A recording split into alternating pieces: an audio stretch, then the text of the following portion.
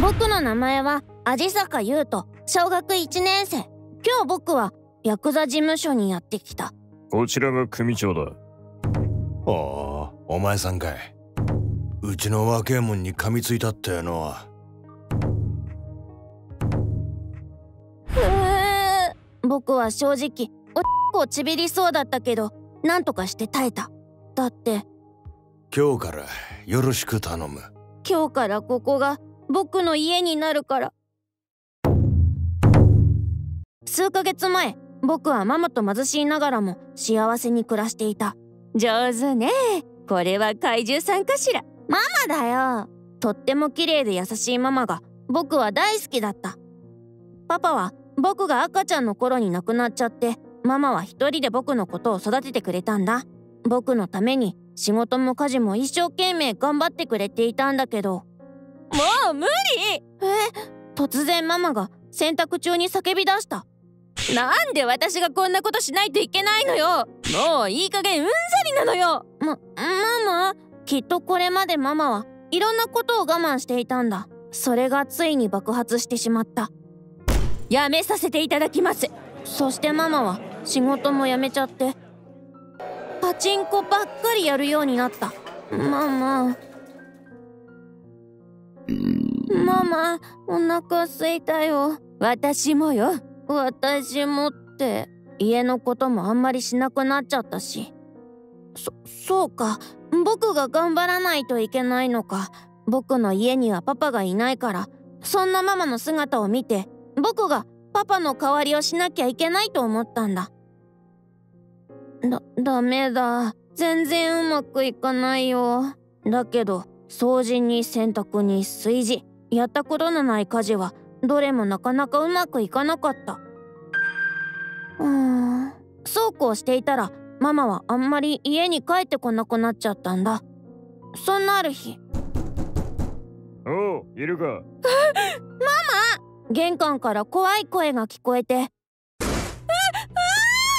こ怖いよママ。僕の家にヤクザのおじちゃんたちが入ってきただこの部屋はずいぶん汚ねえな。ママは仕事を辞めて収入がないからヤクザさんからお金をたくさん借りていたんだ。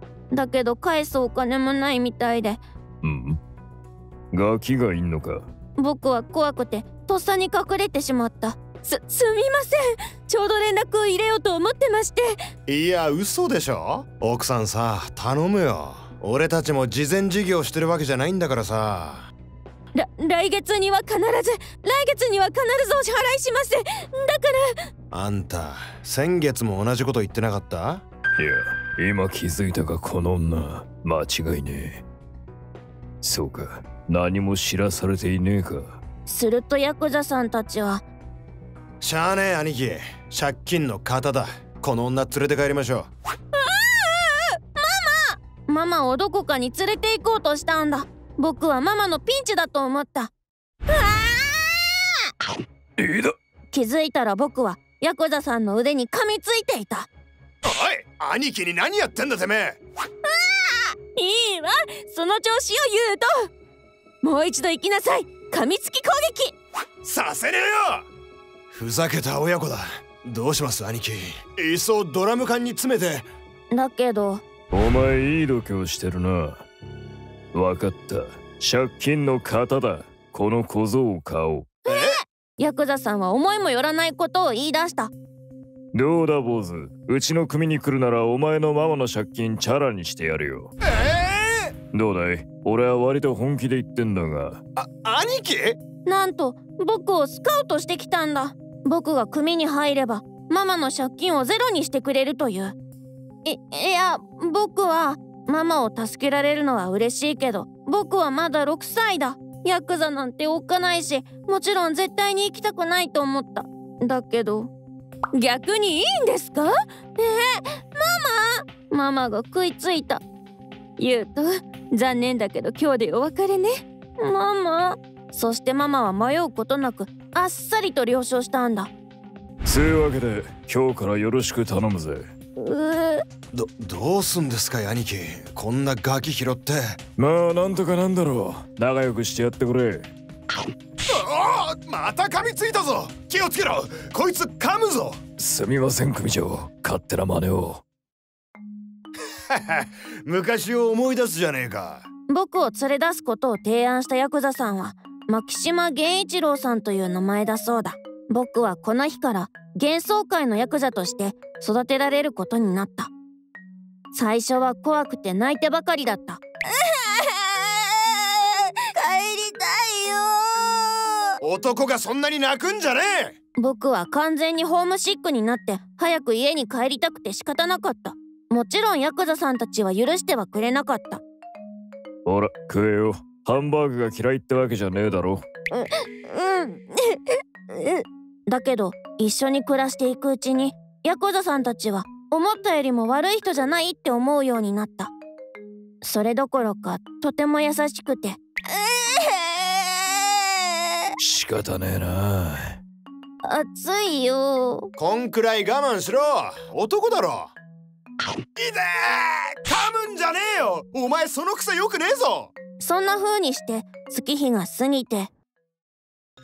僕も将来はお父さんみたいな消防士になりたいって思いました終わりです。よしありがとう純也消防士をしてるなんてかっこいいお父さんだな。それじゃあ次は優斗お願いできるか？嫌です。え？読みたくないです。僕は小学生になっていた。ヤクザさんたちはとてもよくしてくれていたけれど僕はこの頃から自分の生い立ちに疑問を持ち始めていたんだ。僕もみんなと同じように普通の家庭でママやパパに囲まれて暮らしたかったから。言うと。そして俺は高校生になった。ここにユートってやついるかよ。ダチの敵を取りに来たんだが。優斗は俺だけど。お前俺のダチをボコしやがったな。どうなるか分かってんのかてめえ。お前も噛みちぎってやるよ。おら！この頃になればもう普通の家庭への憧れはとっくに捨てていた。俺は人とは違う。そう割り切って不良たちの世界で生きていたんだ。すんませんでした。これで補導されるのは14回目。源一郎さんを含めて組のみんなに何度頭を下げさせたか知れねおいやんちゃすんのはいいがもう少し人の迷惑を。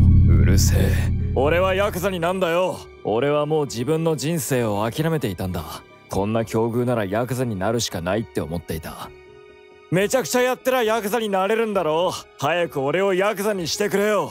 だから喧嘩や悪さに明け暮れる日々を送って。しかしヤクザをなめるんじゃねえよ。この時初めて源一郎さんがブチギレた。ヤクザってのは人時。人が踏み行うべき道。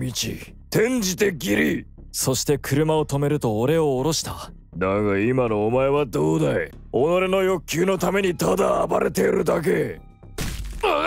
俺は確かにお前をスカウトしたがな。そんな生半可な気持ちでヤクザになってもいつかのたれ死ぬのがオチだ。いいか言うと一度しか言わねえからよく聞け。俺はお前をはみ出し者にしたかったわけじゃねえ。幸せにしたかったんだ。源一郎さんは初めて俺に胸の内を打ち明けた。まだ幼かった俺を幻想界に引き込んだ理由。あん時のお前は昔の俺と同じだったからだ。それ以上何も言わなかったが俺は今まで自分が何か思い違いをしていたことに気がついた。ごめん俺。帰るぞ。だが本当の訳を知ることになるのはもう少し後だ。そして俺がヤクザ事務所に来てから20年が経った。俺は若くして若頭に就任今では我が衆を引き連れるまでに成長していた。おい幻想界の。ここはうちゴキ組の島なんですがね。ああ俺にはヤクザの才能があったのさ。今じゃ敵対勢力の組としのぎを削り合う毎日を送っている。あれって私は街で揉めているヤクザを見て驚いた。ママ？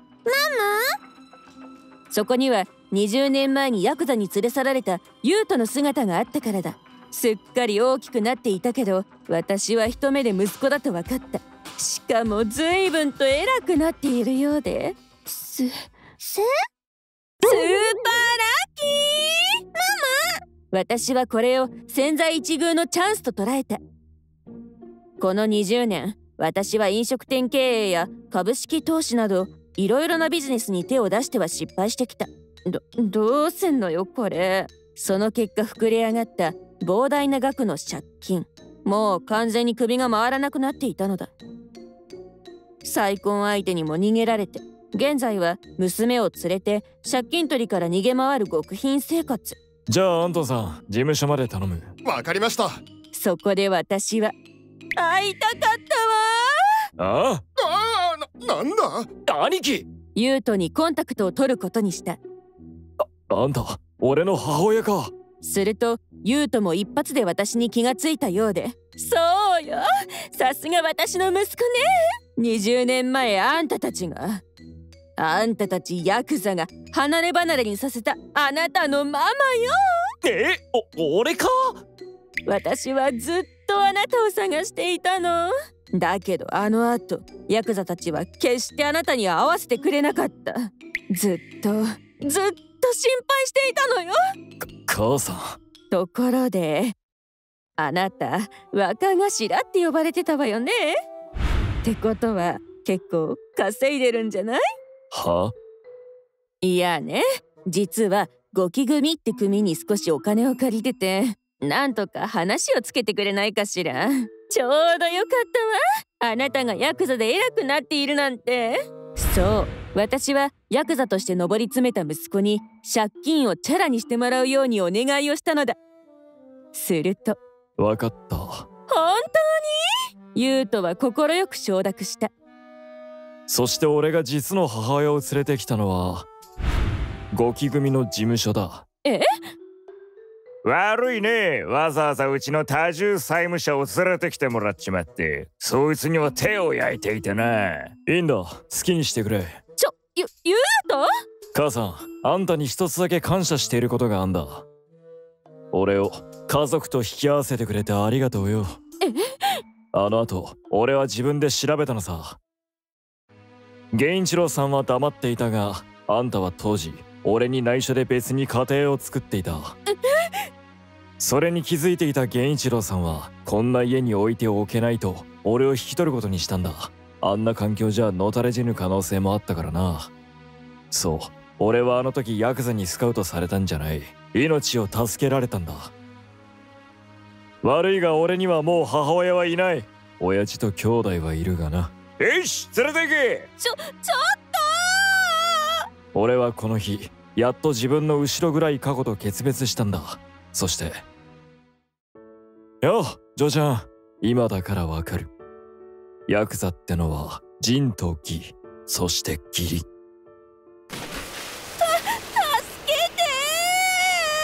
俺は今年の離れた妹ととても幸せに暮らしている。